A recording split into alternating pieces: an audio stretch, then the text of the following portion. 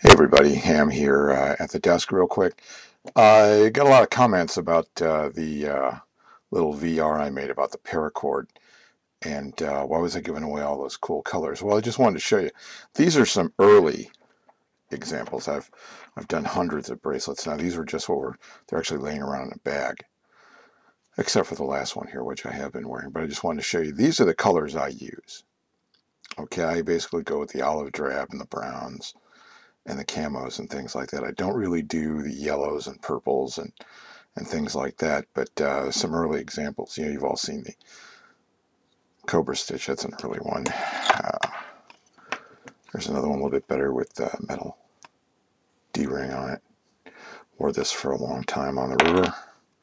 Here's a very early King Cobra. Now this is a double wrap Cobra Stitch with uh, a big turnbuckle on it. Uh, wore this on the river for a long time. There's a lot of paracord tied up in that. I haven't worn that in a while. Uh, you know, some early examples of, of, a lizard tail, which didn't turn out too well, but I was kind of inebriated when I did that. So um, this is kind of different. This is actually not paracord. This is, uh, uh, I think it's like 50 pound test rope but it's very soft and very pliable. And I did a double run on it, and it made kind of an interesting bracelet. Um, and uh, it actually looked kind of nice, but I don't wear that anymore. Um, this is something I used to hold a, uh, a hammock together. It was a wrap. This is actually called a barnacle wrap.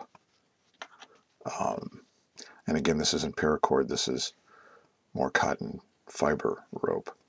But uh, you can see the barnacle rope. There was just something kind of decorative, and it's single strand center, and it's held together with the uh, little clamp there, and uh, it would gather things together and hold it very well.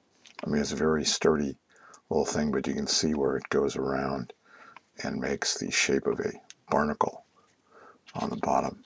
I got this from Tying It All Together and his excellent YouTube site. Uh, this is the one I was wearing that you've seen in some videos.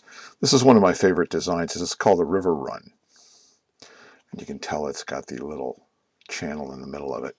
And these were just some really cool shades of paracord that I had found in small quantities. And I just tied this real quick. And this is the one I have been wearing. I am wearing a different one now. I just did this. This is called a Bound Falls bracelet again from tying it all together and again that's OD green and desert camo. And I just thought it looked kind of cool so I'm going to be wearing this for a while. But uh, that's it. If you're wondering why I don't use the flashy colors those are what I make. Um, it's kind of basic earth tones type things you know it's, it's all individual it's what you're into. But uh, that's why those other colors were going and uh, hopefully these are kind of good examples. They're very old. Like I said, these are three years old, maybe, when I started tying. Anyway, just a quickie. Y'all have a good one. We'll see you again soon.